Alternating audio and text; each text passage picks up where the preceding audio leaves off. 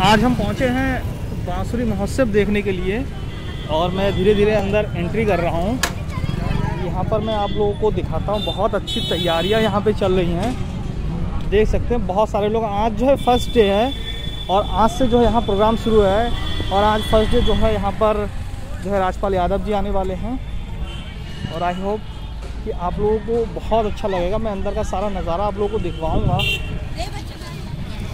यहाँ से हम लोग एंट्री करेंगे और यहाँ से मैं धीरे धीरे जो है अंदर पहुँच रहा हूँ।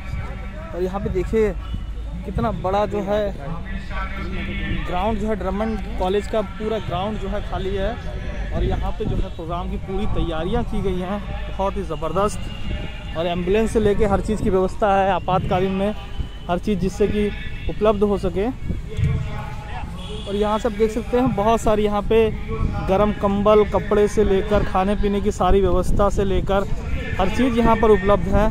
बहुत ही ज़बरदस्त नज़ारा है और यहाँ पे जो भी प्रोग्राम होंगे वो इस साइड में होंगे।